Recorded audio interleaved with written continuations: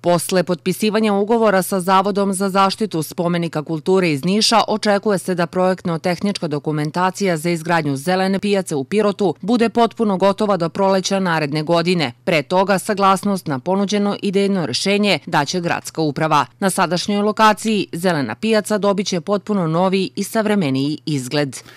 Ja se nadam da naredne godine se i ta pijaca sredi ovako kako smo sada to videli u idejnim rešenjima, izgleda lepo, bit će dosta zatvorenog prostora, ono što je najvažnije, bit će mnogo ovaj, prikladnije, funkcionalnije sa dosta WC-a, sa onom većom prostorijom za uh, mleko, mlečne proizvode i meso, uh, sa malo boljim kancelarima. Dakle, uslovi će uopšte biti bolji za sve one koji dole borave, a što je važno, meni bar jeste, ispunići tu neku estetsku onu formu da taj deo grada bude lep.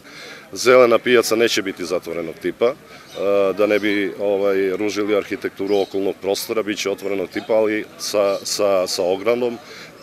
Novo je da će biti pokrivena sandvič panelima, i konstrukcija koja će biti visoka 4,20 metara, sandvič panelima koji će biti izolovani i, ovaj, i po sredini pijace biće otvoren jedan trouglasti ovaj krovni prostor kako bi bilo adekvatno provetravanje na, na, na samoj pijaci. Biće nov raspored tezgi i biće uređen novi prostor za prodaju mlečnih proizvoda. U planu je izgradnja tri objekta sa mokrim čvorovima kako bi se ispunili sanitarno-higijenski uslovi. Komunalac redovno održava pijacu i prostor oko nje.